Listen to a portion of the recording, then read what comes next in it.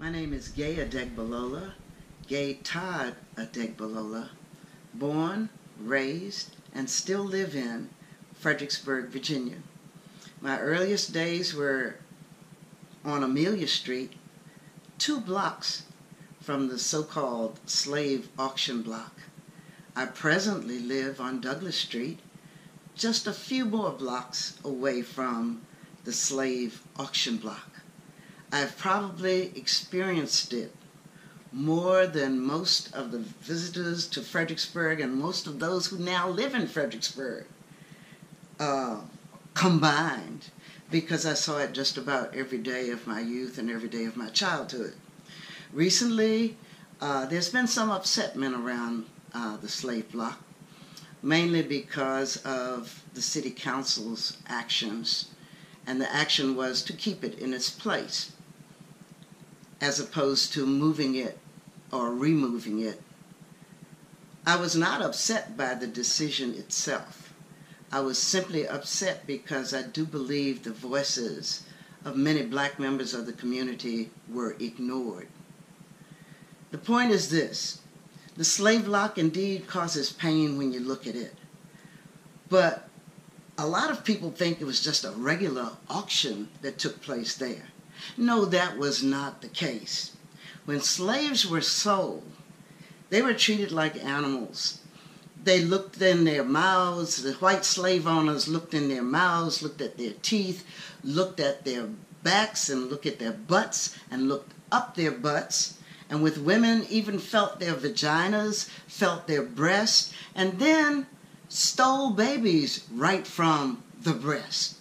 So a lot of blacks, when you look at the slave block, they don't just see a chunk of, of, of dirt that an auction took place on, a chunk of stone that an auction took place on. No, they see the whole history of what it meant to be bought by slave owners.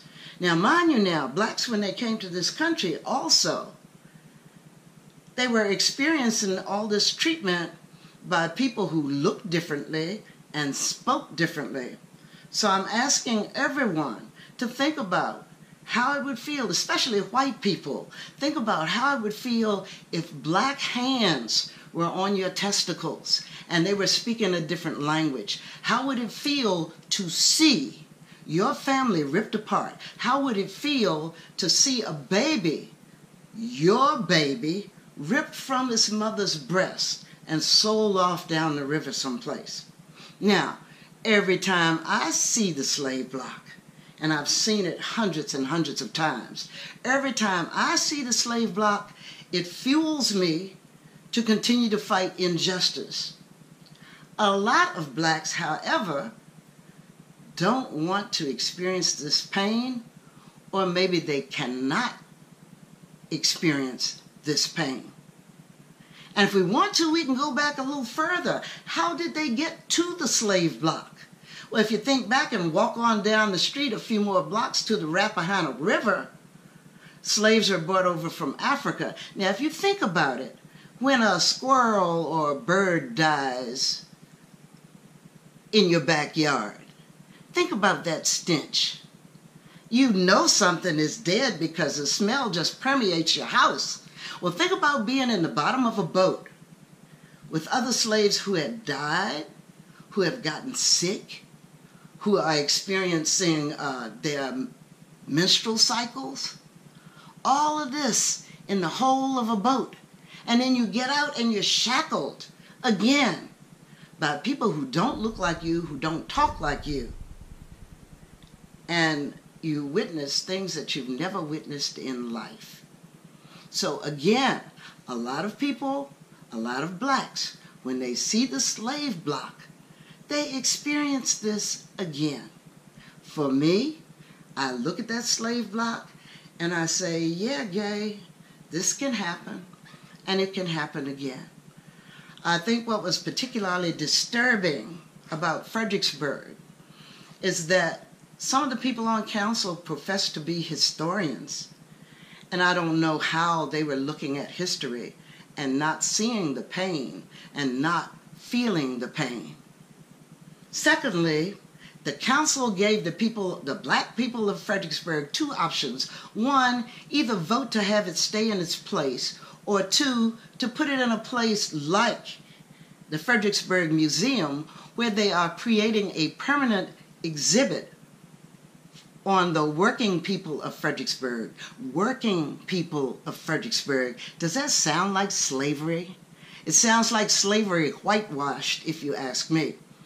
No one was given an option like moving it to Hurkamp Park, putting a fence around it, flowers around it, so that dogs can't piss on it, so that tourists can't photograph their children on it, so that people can't kick it and pretend that it's something awful, eh, that they pretend that it's something that's not so awful as it really is. Again, with me, with Gaye Adegbalola, it's fine to keep that block right there.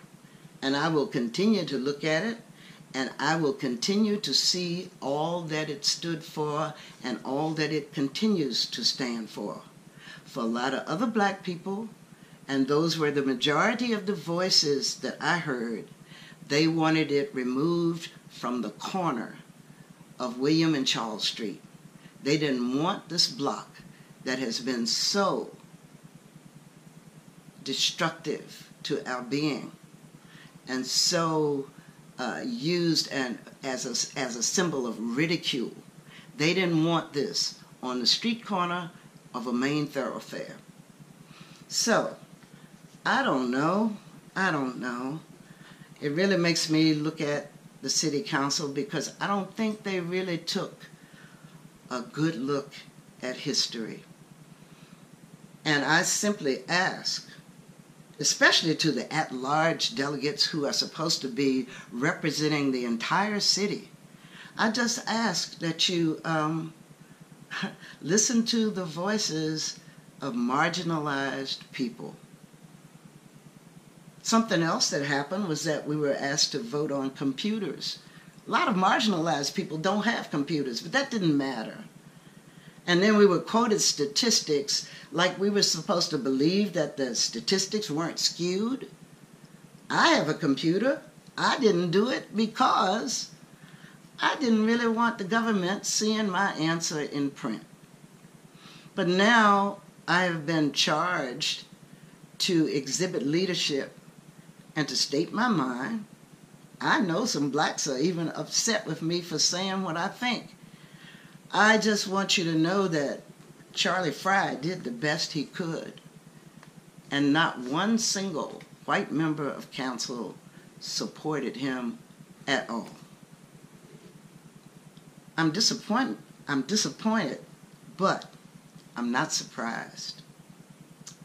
Uh, yeah, it's October the 12th, 2017. An addendum.